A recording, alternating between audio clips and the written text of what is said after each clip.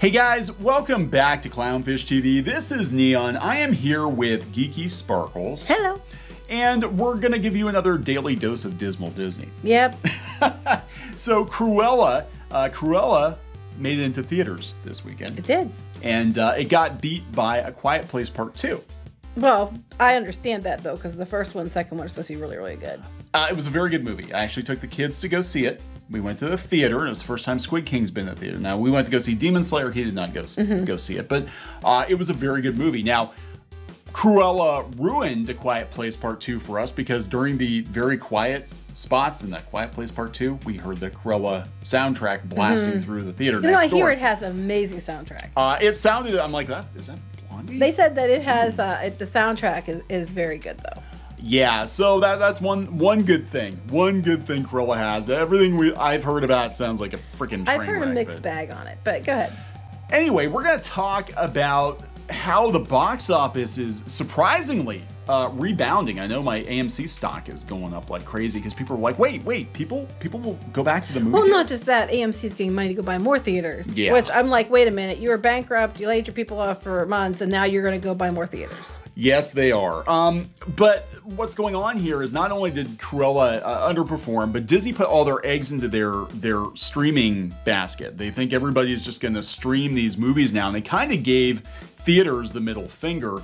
And now people are kind of pissed. They're like, wait, you can bring Cruella out in the theaters and do premiere access, but the next Pixar movie, you're just going to dump it onto Disney Plus. Yeah, it doesn't seem like there's a rhyme or reason to this. No, so there, there's there is uh, some explanation, I guess, according to Cartoon Brew for for Luca, and they are going to release it theatrically in some countries, just not the U.S. That, that doesn't make any sense. It doesn't make any sense. So Disney might have backed the wrong horse. I don't Uh, know, but that was dumb. So we're going to talk about Cruella in the box office and how Disney. I, I have to wonder if they're going to continue down this path because they can they can obscure their numbers Yes, much more easily. I think that has more to do with it than anything. and uh, hoodwink investors into thinking that more people are watching their stuff than is actually going on. Just a theory. They're just trying to build up Disney Plus so they can say we have more subscribers. Mm. So before we get into it, please subscribe for more pop culture news, views, and rants, guys. We're over 192,000 subs. Uh, thank you for the support. And uh, yeah, we're at almost 200,000. We still got to think about what we're going to do for 200,000. No idea. I don't know. Uh, maybe an actual live stream because we don't do, we don't do those very, very often. So this article puts it all together. This is coming from Bounding Into Comics. Uh, Quiet Place Part 2 trounces Disney's Cruella at the box office. Now, Quiet Place Part 2 was not available on any streaming services, and actually it was kind of cool. We went to go see it, and John Krasinski had a little thing at the beginning Oh, did he? thanking people for coming out to the theaters. Aw. Uh, it was actually very cool. He was like, "Thank you so much. This means so much. We held off on this movie because we wanted you guys to see it in theaters, uh, so you can experience everything with that uh, you know Blondie music blasting through the Yeah, I don't think they meant the that. like it was. Damn you, Cruella! You ruined Quiet Place. Um, anyway, but the numbers reported Paramount's A Quiet Place Part Two grossed forty-seven point four million over the holiday weekend for pandemic. Mm-hmm. That's pretty damn good.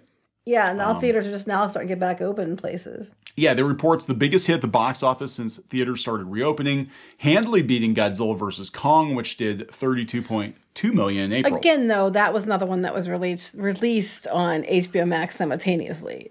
and, then- It's really hard with this now. and I think that's the point. I think that's the point of all of this is we can fudge it, you know, because nobody Mm-hmm. can really say definitively how many people are watching Mm-hmm. a until it's useful. If a third party comes out and says, "Yeah, we think that the Falcon and the Winter Soldier was the top streaming show this week," and Disney be like, "Guess what, everybody? It's Yeah. gospel." If they're not saying that, then that means that that doesn't look like the numbers are are showing them that it was. Uh, Cruella came in a very distant second place. It only grossed $21.3 million. Again, it was also released on Disney Plus, though. Yep, uh, Cruella was also available to purchase for $30. It's unclear how many people decided to purchase it. Now, Samba TV is doing some tracking or trying to do some tracking of streaming. And we're hmm. going to, I think what's going to happen is since streaming is the new thing right now. Eventually, we're going to get like Nielsen or some somebody's going to get into it and be like, no, we have to keep track Right. of people, especially now that we've got more and more of these services being ad supported. It's like we have to keep track of how many people are actually watching Uh, that's just. But here's fair. where we get some interesting numbers. So Samba reports that 686,000 households streamed Cruella over Memorial Day weekend. They claim that's 37% less than the number who streamed Mulan over Labor Day weekend. Wow. Ouch. Well, maybe they after Mulan, they were like, "Yeah, we don't, we, we we're not falling for that again." Yeah, $30 for this pile Yeah. of Dalmatian shit. Yeah, there we go. 1.1 million households streamed Mulan according to Samba. So yeah, not great. Uh, not great. But then again, this is a look. I, some people I've heard I've heard mixed things about Cruella, but I can honestly tell you this is a movie that literally nobody asked for. Mm-hmm. Nobody but asked. people did point out, and I will give it this. They said that what was nice about it was it wasn't just an exact copy of the animated film, but the problem is they made a lot of changes. You know, Yeah. to, to the to the lore of Cruella by doing this film.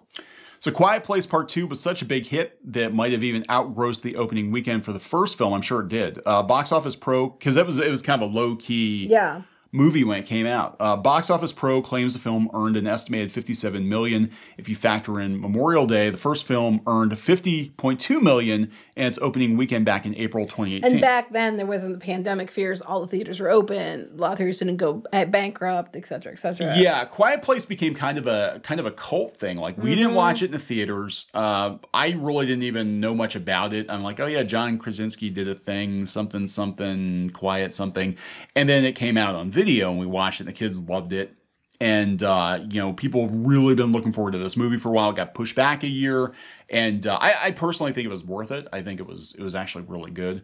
Um, I was like, nah. See, they always drop the ball at the sequel. I'm waiting for the third one. Third one, they're going to drop the ball. But I hope not. Third one, they're going to drop the ball. So it appears also crushed the numbers prediction model. Their model had a Quiet Place Part 2 bringing in 25.7 million over the three-day weekend. Uh, factoring in Memorial Day, they claimed a weekend around 50 million, which is close to double the model's prediction. Uh, they predicted Cruella would do 15.8 million, but again, it was just for a normal three-day weekend that includes Fridays. So both these movies honestly performed more than They expected. they expected. So how smart is it of Disney to bet everything on Disney Plus? They basically, and they did, they basically stuck it to the theaters. Mm-hmm. And they they more or less told the theaters like we're going to do what we're going to do because from Disney's point of view, you know, 600,000 people paying paying 30 bucks, you know, that might not have gone to theater, it might wind up that they, you know, you, take out the distribution, all that, they're pocketing more money. That, I think that's what it is. They, po- get to pocket more money that way. You know, so then they can go brag to the investors our Disney Plus revenue or Premiere Access revenues through the roof. The roof. So now people are asking questions, uh, rightfully, about Luca. Why Luca, which is a Pixar movie, which historically Pixar movies, you know, usually are pretty consistent. I don't think they've ever had a- an outright bomb. No. Um, some of them have maybe underperformed, but uh, Luca looks cute. Uh, it does, and it probably would have done okay in the theaters. Yeah, and here's the thing. You know, they're still putting out uh, Black Widow in the theaters Mm-hmm. and on Dis- the Disney Plus Premiere Access. They're putting the Jungle Cruise in theaters and with Disney Plus Premiere Access. Beluga is only going to be given away for free on Disney Plus, to Disney Plus subscribers. So you're not even having to pay the Premiere Access for it. Yeah, I mean this is this is weird. I, I gotta tell you, this is hella weird because I'm like, if I were in look, I think Pixar animators are rightfully concerned. I would be worried. I'm like, this tells me our last two movies have basically just got dumped on to Disney Plus. Yeah, and Souls won all kinds of awards, but it was just dumped another one they just gave away to subscribers. Now the flip side of this, they could argue is no, we we're believing that we're trusting your movie so much that we're giving it away to subscribers because we know that it'll bring in subscribers to come get it for free. So they could be say they could be banking on the Pixar films to bring the subscriber numbers up, which they could be doing that. And you know, if you look at it that way, it's not so insulting. yeah, but it sounds like they're you know Pixar is the sacrificial lamb. It does come across that way, but if you're looking at it because Disney Plus is their number one thing, they're they're banking everything on, and they're giving it they're giving it to subscribers. Um, that they might be hoping that it brings in a bunch of new subscribers, and so that could be what they're they're using it for too. I, I mean, I can see why the people at Pixar would feel bad. I'm just saying, devil's advocate here. It could be that they're trying to bank on that to raise their numbers. It's so good, guys, that we're just going to give it away for free because, uh, you well, know, to them, the numbers on Disney Plus are more important. Yeah, and that's that.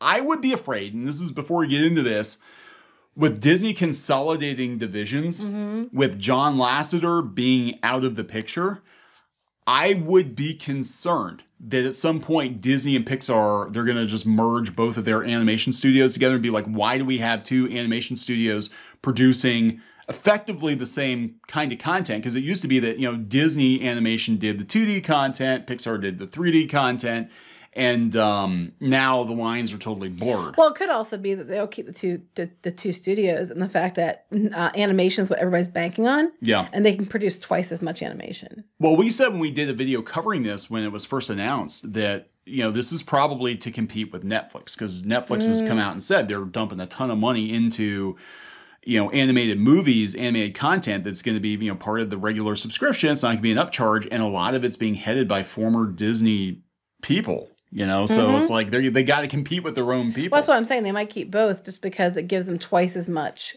content. Um, and we know they're teaming up with other studios to do other content too. So be outside of their own animation studios. So I mean, to me, it makes sense to keep both. Um, with if animations where their priorities lie, it also makes sense to me to put it on Disney Plus as a perk to try to get the subscriber numbers up after Yeah. Soul won so many awards and things. But I can also understand why the Pixar people might feel personally slighted. Like, what do we do our stuff doesn't go to the theater? So I actually can see both sides of this, and I'm not trying to argue with you. I'm just saying I Oh, can no, see okay. I can see the argument for the other side as well. So um, this is coming from Bob Chapek, and he he talked about it during J.P. Morgan's Tech Right. Media and Communications Conference. Yeah, they did. They had that the other day. Yeah, so this is specifically about Luca. We've increased our investment in creative content to ensure that all channels of distribution have a full complement of offerings. Mm-hmm. Disney Plus. Yep, to sort of keep everybody happy, but nowhere is that more uh, the case than Disney. They're putting Plus. all their money on Disney Plus, which is what I just said. Yep, we want to make sure, given the importance of Disney Plus to us in the marketplace and our shareholders, we keep feeding that machine. As far as Chapek is concerned, theatrical exhibition in the U.S. is still a gamble. I I don't know, guys. I don't know. Quiet Place did twice as much as. You know how I, what I love is their argument that we believe that that the theme parks now are going to pick up because of pent up demand, which is it's true and it is. But why do they not apply pent up demand to the movie theaters? Yeah, because look, I actually had a hard time getting tickets for Quiet Place on a Saturday matinee. It was like one o'clock in the mm-hmm. afternoon. They were selling out as I was putting seats into the cart. Because it, for people, that's a way to return to normal, and it's Yeah. a way to go have entertainment and something fun that's cost effective, and you don't have to go too far with the pandemic and everything. You know, if you want to argue it's still going on and everything else, you can feel safer because you're staying close by, and you can take your kids and do something fun, and it doesn't cost you an arm and leg. Like going to the flip flipping Disney costs you, you know, tens of thousands of dollars, or you know, well, not tens of thousands, but it could depending where you oh, stay. Oh, it easily thousands could, of dollars, at least three to five thousand dollars. You know, easily. And you can go to the, to the movie theater for like a fraction of that and get popcorn and snacks. Probably still be under a hundred bucks, and you don't have to go too far. And it, so I don't understand why they argue pent up demand on one side, but then they keep ignoring that in the other um, to, or to to validate why they they start everything on Disney Plus. Because one costs significantly more. Well, I'm just saying, just be honest and say, hey, we're feeding it to Disney Plus because we're trying to grow the numbers. Sacrificial lamb. Uh, or mermen, or whatever they are. Uh, as far as Chapek is concerned, again, this is coming from Cartoon Brew, probably the best source for animation industry news out there, uh, in my opinion. Uh, as far as Chapek is concerned, theatrical exhibition in the US is still a gamble. We're seeing some hesitancy to return in a way that would look anything like 2019. I don't know. I don't know, Bob. I don't buy that. Bob. Quiet Place 2 did twice what they expected, more than the original movie did before the pandemic. Uh, Well, this this this thing he talked at was before Quiet Place Two came out. Just FYI. yeah, well, I think they're last gonna, week. They're going to have to backpedal. This Yeah. is this is interesting, and as such, during this sort of interim period, it's really nice to be able to give consumers some flexibility. Uh, so Luca's going to premiere on Disney Plus on June 18th at no extra cost to subscribers. Like Soul on Christmas Day, that made sense because to me, Soul felt like they were uh, trying to compete with Wonder Woman Mm-hmm. being dumped on Christmas Day. Uh, so I guess I can kind of see that. Like, here's a Christmas present from Disney. You get a free movie, you know, right whatever. and that's just what the whole thing is it's not about you know what he's saying it's about driving up the disney plus numbers Yeah, we'll have sort of similar impact like we saw when we did Soul. i don't Uh, know if you will because the theaters are open now Yeah, uh, back during the holidays. Uh, he also noted that more than half of households with a subscription to Disney Plus don't have kids. okay, funny to me. They keep focusing on this. He keeps bringing this up at every damn in, you know call that he has investor relations whatever and they keep acting like this is some groundbreaking you know who to who'd have thunk it this doesn't surprise me one iota because when we work in the in the in the pop culture industry and we the circles we run in and stuff there are a lot of people who don't have kids who love Disney and go to Disney all the time with their friends, or they're just single, or you know, they're just couples that no, no kids, single family, double income, whatever mm-hmm. they call it. And they're going down to Disney and spending money right and left. We see the cosplayers all the time, everything else. Not surprising to me at all. But Disney's like so now they're doubling down on let's give offerings for people without children. That's like their new thing. Like, oh, we found a new market. Oh, hot damn, we're so smart.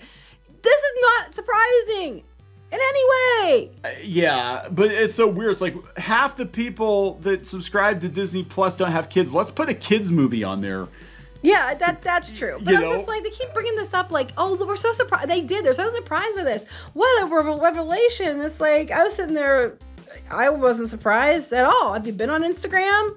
You know, I'm like, Uh, yeah, but this is uh, again, this does feel like it's kind of a sacrificial lamb. Now, not every country is is bypassing uh, uh, Luca in the theaters. Actually, there are several countries.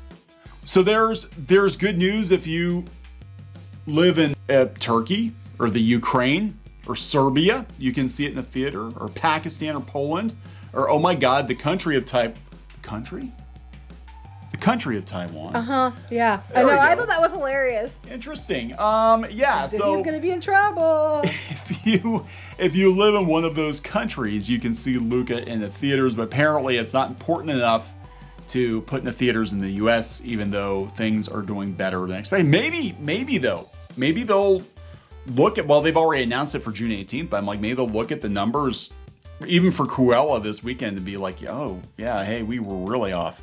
Uh, we were really off, guys. But they've already announced these, so they're not gonna make Yeah. changes to them at this point. And are people going to go if they know they're getting them for free on Disney Plus? Like, why, why would you pay? It's like I'm going to get it for free. Right. They're not gonna be able to change know. Luke at this point anyway. Yeah. There's nothing they're gonna change on that. All right, so we're going to wrap this one up. Yep. All right, so please subscribe for more pop culture news, views, and rants, guys, and we'll talk to you later. Bye.